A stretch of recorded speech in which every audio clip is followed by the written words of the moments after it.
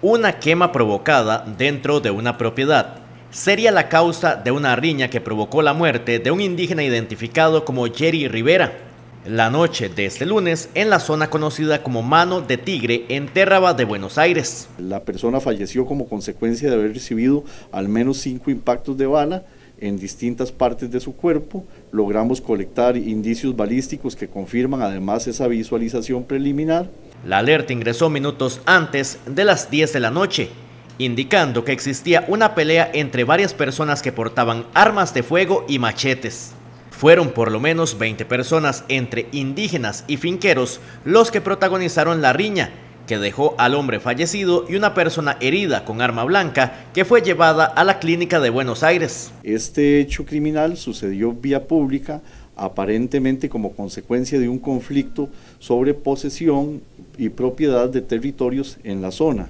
que generó una gresca, un enfrentamiento o una riña que al final de cuentas concluyó con el fallecimiento de la persona identificada como Jerry Rivera Rivera,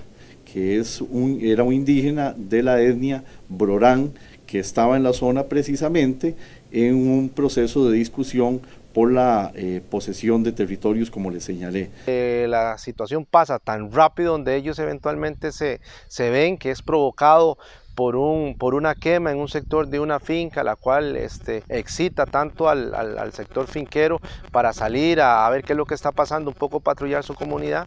es que se da lamentablemente la, el, el, contacto entre estos dos sectores, se da una riña con eh, el lamentable deceso de una persona y, un, y una persona eh, finquera herida Fuerza Pública llega en el acto y, lógicamente atendemos las dos partes y tratamos de que la situación pues no, no siga en escalada. En estas imágenes se puede observar a la persona sospechosa de dar muerte a Rivera cuando era detenida por los miembros de la Fuerza Pública tras entregarse de forma voluntaria. Sí, tenemos una persona sospechosa eh, y un poco a raíz